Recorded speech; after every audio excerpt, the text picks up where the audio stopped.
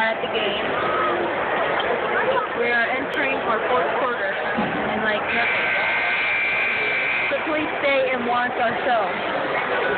Enjoy and have a nice night.